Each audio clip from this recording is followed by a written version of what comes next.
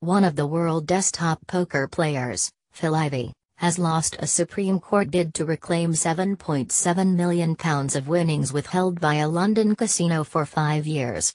The American was challenging a Court of Appeal judgment that Crockford's club could refuse to pay up when Ivey won the cash playing card game Punto Banco. The club said Mr. Ivey had broken its rules by using an edge sorting technique to spot advantageous cards.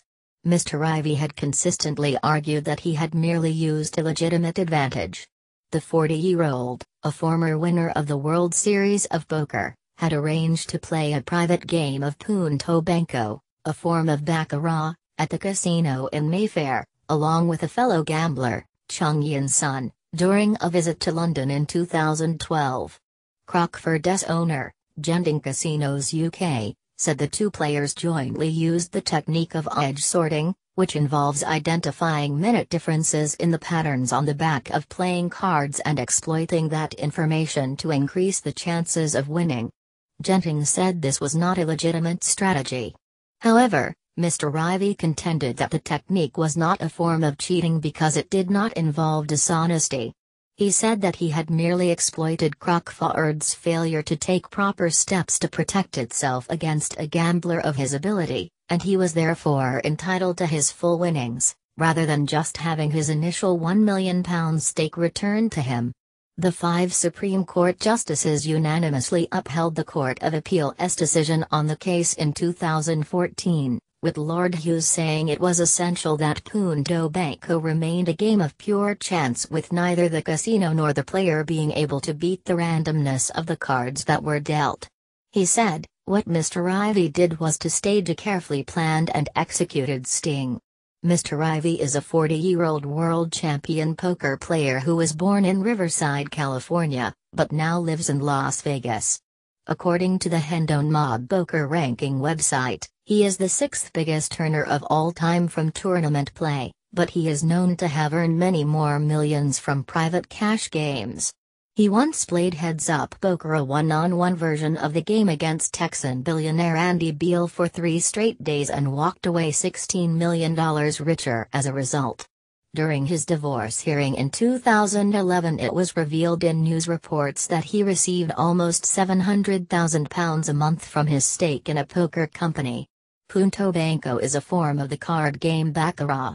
It is not unlike blackjack but the aim is to have cards that add up to 9, or as close as you can get.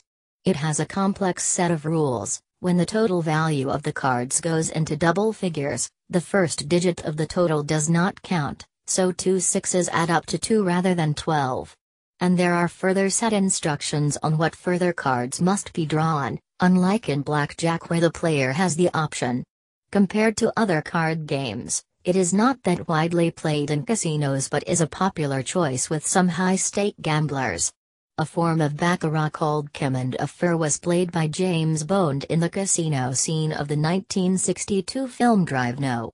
Analysis by John Hand, BBC News For those who don't know their cards, it is hard to overstate how big a superstar Phil Ivey is in the poker world.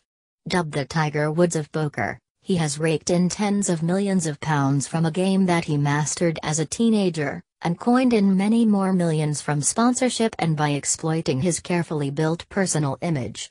His mass appeal is such that he became the face of a Chrysler Cars ad campaign.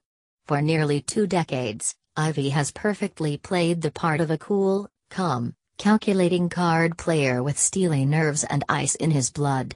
Casinos fly him around the world as his presence can attract thousands of other punters. But will Ivey be as big a draw after going all in against British legal system and losing? It is helpful for him that the case was not about poker, and that some of the gamblers he competes with will empathize with his explanation that he was merely being the best punter he could be, in using his savvy to try to beat a casino. It was noticeable that this year Ivey skipped the main event in the World Series of Poker, the equivalent of Roger Federer taking a fortnight off during Wimbledon, and also mothballed his Slick Ivey League Poker School website. Whether that marks the start of a general wind down with more days to spend his millions and fewer days spent grinding for 12 hours at a poker table remains to be seen.